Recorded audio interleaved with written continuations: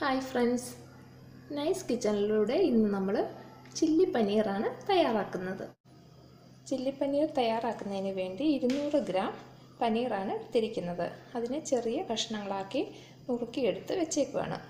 ഇനി ഇതിനെ നമുക്ക് കുക്ക് ചെയ്യാനുള്ള ഒരു പാത്രത്തിലേക്ക് ഇട്ട് അതിൽ ഒരു കപ്പ് വെള്ളം ഒഴിച്ച് നമുക്ക് അടുപ്പിൽ വെച്ച് വേവിക്കണം.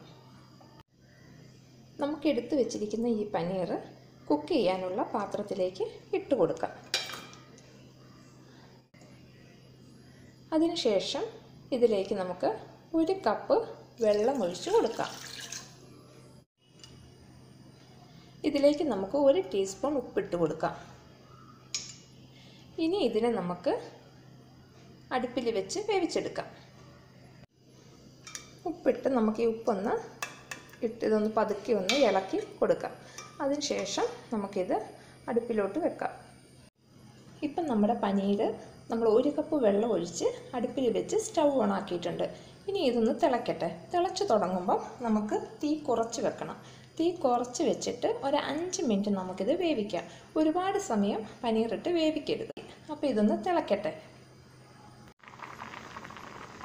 ഇപ്പോൾ ഇവിടെ നമ്മുടെ പനീർ നന്നായിട്ട് തിളച്ചു തുടങ്ങി. ഇനി നമുക്ക് തീ നന്നായിട്ട് കുറച്ച് വെക്കാം.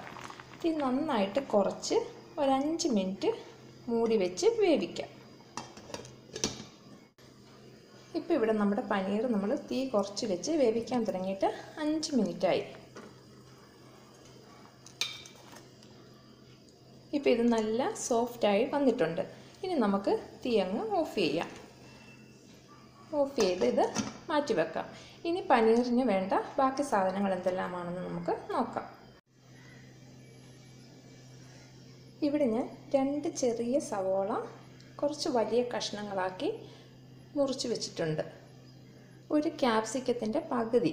അതും സവോള മുറിച്ച വലുപ്പത്തിൽ തന്നെ നുറുക്കി വെച്ചിട്ടുണ്ട്. പിന്നെ ഒരു ടേബിൾ സ്പൂൺ വെളുത്തുള്ളി ചെറുതായിട്ടരിഞ്ഞത് ഒരു ടീസ്പൂൺ ഇഞ്ചി ചെറുതായിട്ടരിഞ്ഞത് ഒരു ടേബിൾ സ്പൂൺ ബട്ടർ. രണ്ട് ടേബിൾ സ്പൂൺ എണ്ണ. ഞാനിവിടെ സൺഫ്ലവർ ഓയിലാണ് എടുത്തിരിക്കുന്നത്. ഒരു ടേബിൾ സ്പൂൺ സോയാ സോസ് നാല് ടേബിൾ സ്പൂൺ ടൊമാറ്റോ സോസ് ഒരു ടേബിൾ സ്പൂൺ കോൺഫ്ലവർ കാശ്മീരി മുളക് പൊടി മൂന്ന് ടേബിൾ സ്പൂൺ കാൽ ടീസ്പൂൺ മഞ്ഞൾപ്പൊടി ഉപ്പ് ആവശ്യത്തിന്. ഉപ്പ് നമ്മൾ പനീർ വേവിച്ചപ്പോഴും ഉപ്പിട്ടിട്ടുണ്ട് പിന്നെ സോയാ സോസിലുമെല്ലാം ഉപ്പുള്ളതാണ്. അതുകൊണ്ട് ഇടുമ്പം നമ്മൾ ഉപ്പിന്റെ അളവ് നോക്കി മാത്രം ഇടാവുള്ളൂ. അപ്പോൾ ഇനി ആദ്യം തന്നെ നമുക്ക് ഒരു പാൻ അടുപ്പിൽ വെച്ച് അതിലേക്ക് ബട്ടർ ഇട്ടൊന്ന് ഉരുക്കിയെടുക്കാം. ഇപ്പോൾ ഇവിടെ നമ്മൾ പാൻ വെച്ച് ബട്ടർ ഇട്ട് ആ ബട്ടർ നന്നായിട്ട് മെൽറ്റായിട്ടുണ്ട് ഇതിലേക്ക് നമുക്ക് നമ്മൾ വേവിച്ച് വെച്ചിരിക്കുന്ന പനീർ അത് ഞാൻ ആ വെള്ളത്തിൽ നിന്ന് ഊറ്റിയെടുത്തിട്ടുണ്ട്. ആ വെള്ളം നമ്മൾ കളയണ്ട ആ വെള്ളം പിന്നീട് ഇതിലോട്ട് ചേർക്കണം.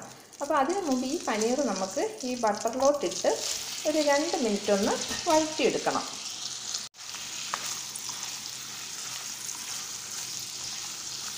ഈ സമയം നമ്മൾ എടുത്തു വെച്ചേക്കുന്ന മുളക് പൊടിയിൽ നിന്നും ഒരു അര ടേബിൾ സ്പൂൺ മുളക് പൊടിയും കൂടി ഇതിന്റെ കൂടെ ഇട്ട് കൊടുക്കാം. തീ നന്നായിട്ട് കുറച്ച് വെക്കണം. ഇപ്പോൾ ഇവിടെ നമ്മുടെ പനീർ ഇത് രണ്ട് മിനിറ്റ് ആയിട്ടുണ്ട്. ഇനി നമുക്കിതിനെ ഒരു ബൗളിലോട്ട് കോരി മാറ്റാം.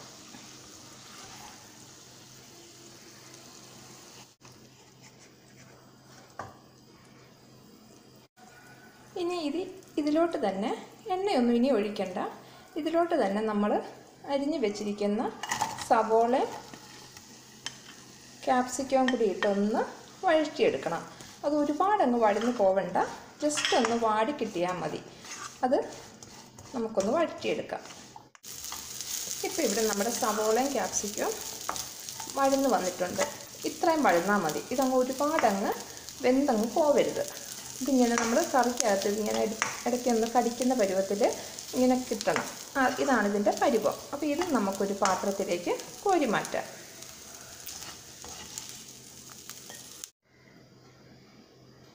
ഇനി ഈ പാനിലേക്ക് നമുക്ക് നമ്മൾ എടുത്ത് വെച്ചേക്കുന്ന സൺഫ്ലവർ ഓയിൽ നിന്നും ഒരു പകുതി എണ്ണ ഒഴിച്ചു കൊടുക്കാം. നമ്മൾ രണ്ട് ടേബിൾ സ്പൂണാണ് എടുത്ത് വെച്ചത്. നമുക്കതിന്റെ ഒരു പകുതി ഒഴിച്ചു കൊടുക്കാം.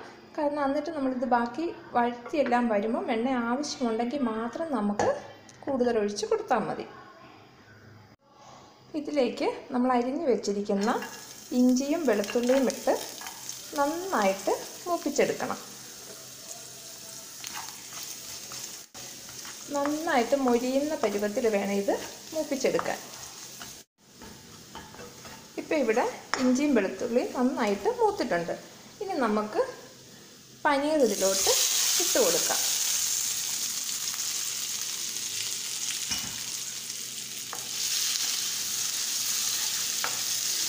എന്നിട്ട് അതൊന്ന് വഴിക്കാം.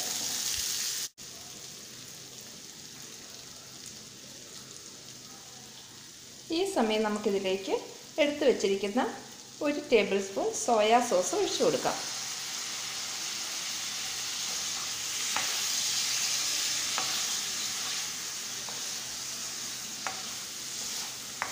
ഇതിന്റെ കൂടെ തന്നെ ബാക്കി മുളക് പൊടി നമുക്കിട്ട് കൊടുക്കാം.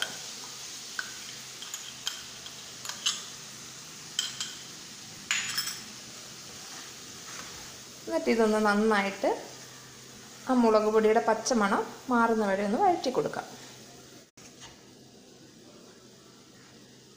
ഇനി നമ്മൾ എടുത്തു വെച്ച കാൽ ടീസ്പൂൺ മഞ്ഞൾപ്പൊടിയും കൂടി ഇട്ട് കൊടുക്കാം.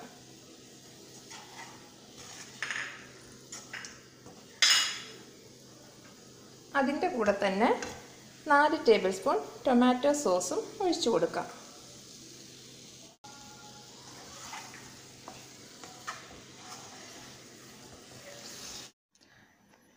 ഇപ്പോൾ ഇത് നന്നായിട്ട് വഴഞ്ഞതിന്റെ പച്ചമണമെല്ലാം മാറിയിട്ടുണ്ട്. നമ്മൾ പനീർ വേവിച്ചെടുത്ത് വെച്ച ആ വെള്ളം നമുക്കിതിലേക്കിപ്പം ഒഴിച്ചു കൊടുക്കാം. ഇനി ഇതൊന്ന് തിളക്കട്ടെ. ഇപ്പോൾ ഇവിടെ ഇത് നന്നായിട്ട് തിളച്ച് തുടങ്ങിയിട്ടുണ്ട്. ഞാൻ നേരത്തെ ഇൻഗ്രീഡിയൻസിന്റെ അകത്ത് പറയാൻ വിട്ടുപോയി. ഒരു ടീസ്പൂൺ പഞ്ചസാരയും കൂടി വേണം. അത് ഈ സമയം നമുക്ക് ഇട്ട് കൊടുക്കാം. എന്നിട്ട് നമുക്കിതൊന്ന് ഇളക്കി ഇതിന്റെ ഉപ്പെല്ലാം കറക്റ്റാണോ എന്ന് നോക്കണം.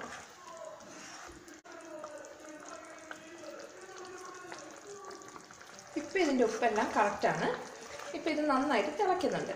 ഈ സമയം നമ്മൾ വഴറ്റി വെച്ചിരിക്കുന്ന സവോളയും ക്യാപ്സിക്കവും കൂടി ഇട്ട് കൊടുക്കാം.